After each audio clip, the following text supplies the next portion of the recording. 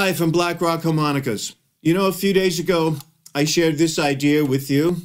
This is the Trumonica, and I sent it out to all the Facebook pages and the chat rooms. I wanted to get a little feedback from harmonica players, and the feedback was very encouraging. Uh, of course, a lot of people wanted to know how it sounds. So today, I'm putting together a little soundbite so you can hear what it sounds like.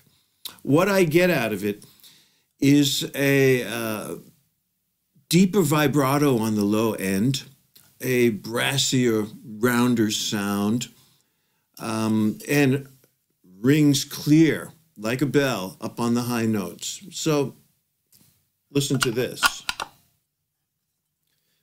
This is a standard Hohner Special 20, right out of the box, no major modifications at all. So on the low end,